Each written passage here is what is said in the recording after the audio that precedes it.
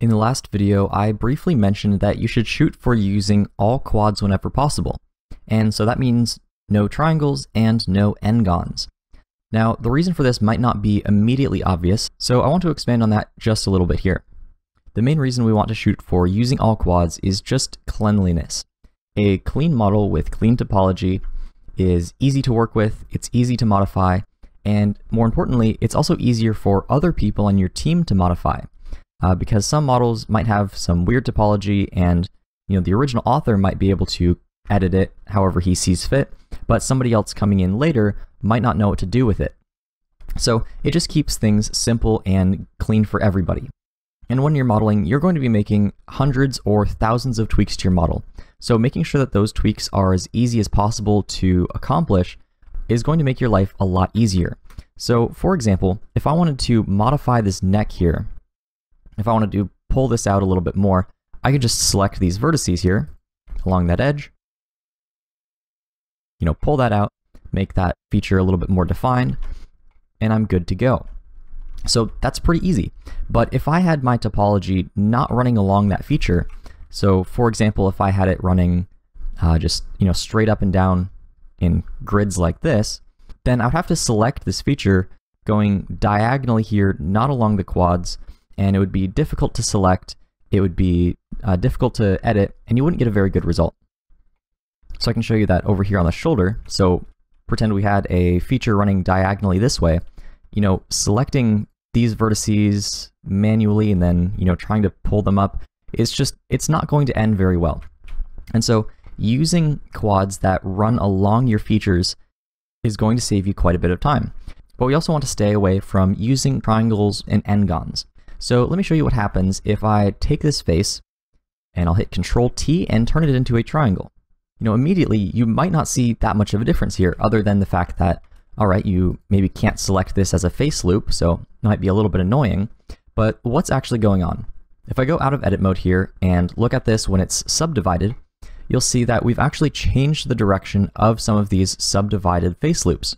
So instead of running straight, you know, down along this feature as it had before, what we're doing is we're changing the direction and now we have a loop, you know, running along this way and a loop running along that way.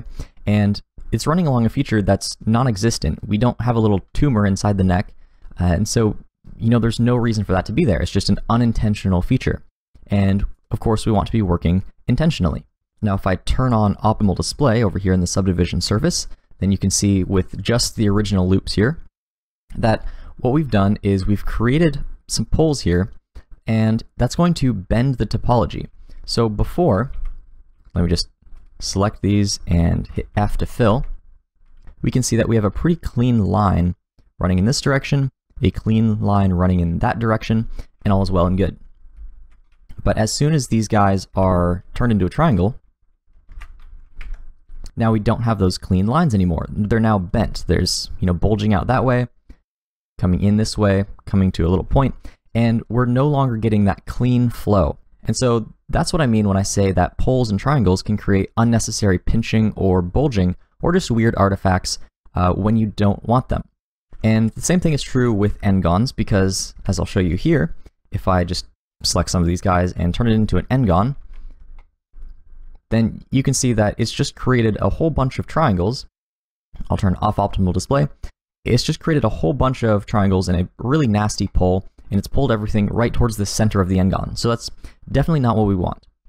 Now, you might notice that this is really only applying to subdivision surface modeling. You know, if I didn't have this subdivision surface modifier, well, you know, these triangles might be annoying, and maybe this isn't a great place for an n-gon because it really should be bending in the middle. Overall, it's not the end of the world. And so this is why in game models, you'll often see lots of triangles because you can often create the same shapes out of less triangles than you can with quads. But if you were to subdivide it, it would look really nasty. But when you're exporting to a game engine, you're never going to be using subdivision surfaces, and so in that context, it doesn't matter. But the principles that I'm talking about in terms of using the topology to define the features of your object are still definitely going to apply. And even when you are game modeling, you're likely going to want to start out using all quads and then, you know, reduce your topology to triangles later before exporting. But just for the sake of ease of use and ease of editing, you're likely going to want to model things initially with all quads. Now, there are going to be some times where triangles are acceptable. You might see some modelers use triangles like areas right here, where this is a quad, but if we were to make this into a triangle, it wouldn't be the end of the world because the pinching that would be there is part of the surface features that we're actually going for in the first place. So there might be some times when using triangles is appropriate, but unless you have a specific reason to use one, I would say try to stay away from them as much as possible. So if you really are advanced and you know what you're doing and you have a particular reason for using triangles, go for it. Uh, because, you know, of course, none of these rules are hard and fast. All rules are kind of meant to be broken in the modeling world. But if you're unsure, definitely stick with all quads whenever possible, even if it makes it a little bit more challenging initially, it's going to save you in the long run.